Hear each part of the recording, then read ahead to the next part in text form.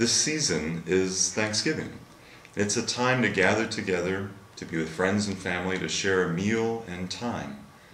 And so, this Thanksgiving season, from a faith perspective, I hope you will consider marking it with Thanksgiving eyes. Now, Thanksgiving eyes are perhaps a different way to consider the holiday. Use your time together to look around. Look around the table, look around the room. See the people that are beside you, but also be aware of those that are absent. When we give thanks for things, what we're doing is giving thanks for their presence, for people's laughter, for the stories, and for the food. But we're also thankful for those that maybe taught us what Thanksgiving means, that shared with us over the years why this is important to be together, why it's a special holiday.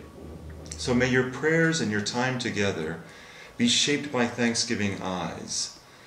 But a second point with that, as you look around that table, as you look around the stores and the city, be mindful of what you have, be mindful of what you're receiving and sharing, but also be mindful that others lack some of those same items. And perhaps your Thanksgiving eyes are ones that suddenly see the water that comes from your faucet that's clean and drinking water might not be available in other places. Maybe the food that's set on the table is not available or not as plentiful for other people. May your Thanksgiving faithful eyes then look beyond this one day in November and consider ways that others could benefit from active, faithful engagement to provide them water, food, family, safety.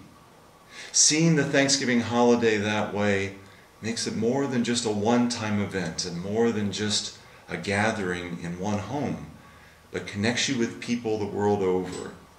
And in that, suddenly your Thanksgiving eyes are seen as God's eyes also see. And that would be a true blessing this season.